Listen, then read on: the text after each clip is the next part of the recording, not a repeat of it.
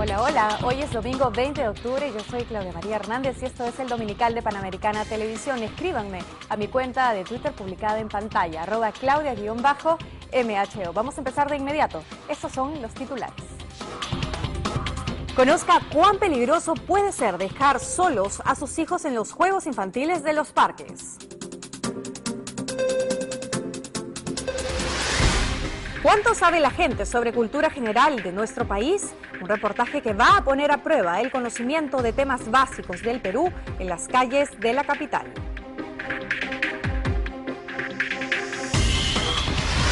Estas personas tienen que pasar las noches en completa oscuridad. Historias de personas que viven sin energía eléctrica. Entérese de la gran labor que realizan estos voluntarios extranjeros en el interior de nuestro país, llevando alegría, pero también cultura. Ellos se levantan muy temprano para salir a trabajar. Conozca a los ambulantes de las madrugadas limeñas. La bellísima ciudad de Pozuzo en Pasco nos abre sus puertas para mostrarnos cómo se celebra la tradicional fiesta de la cerveza, el Oktoberfest. Nació sin piernas y sin un brazo, pero a pesar de ello se gana la vida bailando en las calles de Pucallpa. Usted va a bailar al ritmo de Nicodemos. Hace aproximadamente un mes, un niño de 9 años falleció tras golpearse con un pesado tobogán en la cabeza. Esto sucedió en un parque de Caraballo. Otra pequeña en Tacna también falleció tras un accidente con un columpio especial. A razón de estos lamentables hechos, les hemos preparado un informe especial que muestra cuán peligroso puede ser descuidar a sus hijos mientras se divierten. Usted, padre de familia, preste muchísima atención a este informe. El juego y la distracción pueden ser una muy buena alternativa para el desarrollo de los niños, pero también podría convertirse en un arma letal para los pequeños de la casa.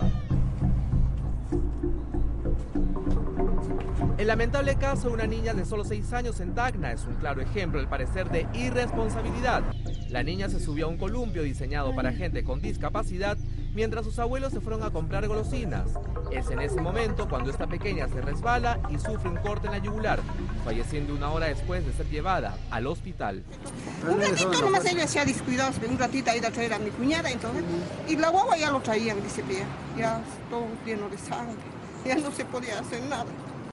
Muchas veces el peligro es latente en los niños no por ellos mismos, sino también por el descuido de los padres. Aquí vemos un par de niños que están jugando en esta máquina de hacer ejercicios y los padres están más o menos a unos 100 metros, cuando la indicación es para mayores de 15 años. ¿Y los padres dónde están? Hay que tener mucho cuidado en ese aspecto. Pero ¿qué puede ser más peligroso? ¿Los juegos para niños que abundan en los parques o el descuido por parte de los padres. A pesar que existen gimnasios para adolescentes separados del área infantil, los pequeños hacen uso de estas máquinas sin que los padres les digan nada. ¿Y tu papá dónde está? Mi papá está ahí, pero yo vine con mi abuelo. ¿Y dónde está tu abuelo? Jugando fútbol. Está jugando fútbol. ¿Tú cómo te llamas? Franco. ¿Cómo está Franco? ¿Con quién has venido? Con mi tía Sandra. ¿Y dónde está tu tía? Está ahí sentada. ¿Está sentada? ¿Y tú con quién has venido? con mi mamá. ¿Y dónde está tu mamá? Está sentada. Está sentada, pero chicos, tú estás eh, haciendo ejercicio acá, pero esto no es para niños, ¿ah? Pero tú sabes que eso puede ser peligroso porque te puedes golpear. Pero una vez yo lo intenté y no me golpeé. Este lado es un gimnasio, les explico, es un gimnasio para adultos. Inclusive este lado de acá. No, no sabía. Como vemos, eh, los niños aquí, si bien han venido con sus padres, pues los padres están en otra área, están lejos, están jugando fulbito y las mamás también están viendo. Yo creo que hay que tener mucho cuidado en no eh, descuidar, valga la redundancia, a los pequeños. Recorrimos varios parques de Lima y notamos que el común denominador es dejar a los niños a su libre albedrío, lejos de su supervisión. ¿Estás haciendo ejercicio aquí? Pero tú sabes que estos aparatos son para mayores, no son para niños. No sabía. Sí, bueno, te, mira, te puedes dar cuenta porque mira el tamaño de los pedales y mira el tamaño de tus pies. Sería mejor que bajes porque te puedes resbalar y te puedes golpear. ¿Y ¿Con quién has venido? ¿Con ustedes? ¿Con quién estás? Ah, al fondo. El señor que está allá de gorras, tu papá. Ya. ¿Y qué hace tan lejos tu papá?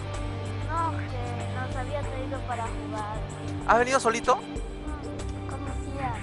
¿Tu tía dónde está? E- Este aparato es para mayores, no para niños. Es que a mí me gusta hacer así. Y te gusta, pero no es ideal para ti porque te puedes este, hacer daño. ¿Sabías o no? Sí, ya sé ya. ¿Usted sabía, señora, que es, es eso de ahí es eh, un aparato para ejercicios para mayores, para adultos, no para niños? Estar aquí jugando se me ha escapado. Pero usted sabe que de repente se puede hacer daño. ¿Qué pasa si, si, si su sobrino se resbala y se golpea? Correría a auxiliarlo. Pero eh, no hay que esperar a que pase eso, ¿no? Ha habido accidentes casualmente porque niños manipulan aparatos que son para adultos.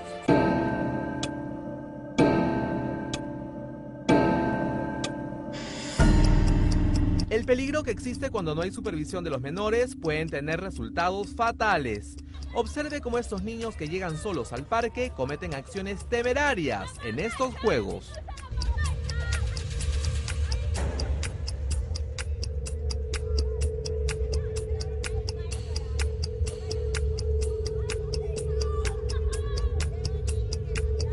Solo con mis amigos. Sí, con mis amigos. ¿Y hasta qué hora más o menos están jugando? Hasta las seis. Hasta las, no, hasta las cuatro, sí, cuatro y media, sí. El otro lado de la moneda se refleja en los padres que sí son responsables y literalmente no se despegan de sus hijos. a los hijos tenemos que ponerle GPS para que puedan este, ubicarlos. No hay que distraerse, los niños son muy rápidos, Prácticamente un GPS, ¿no? prácticamente. Hay que estar muy, muy atentos. Los niños, cuando no te des cuenta, diste la vuelta y ya no están, con- ya no, ya no están. Sí, pues. El sucio de tu vida. Hay que tener mucho cuidado. ¿Tu pequeña qué edad tiene? ¿Cómo te llamas? Carolina. Carolina. Siempre tu papá está pendiente de ti. Bueno, les recomendaría que estén pendientes de los niños, porque a veces los niños están, este, y además por acá este, es- este, peligra mucho. Es un Sucede- lugar medio peligroso, ¿no? peligroso. ¿Cuántos hijos tienen? Dos. Dos. Los dos están aquí. Sí, están ahí entreteniéndose un ratito. Ya. Y usted siempre ahí chequeando. Claro, viéndolos a ellos cómo están ahí, ¿no? Que no les pase nada, que no se vengan a golpear también. Ya.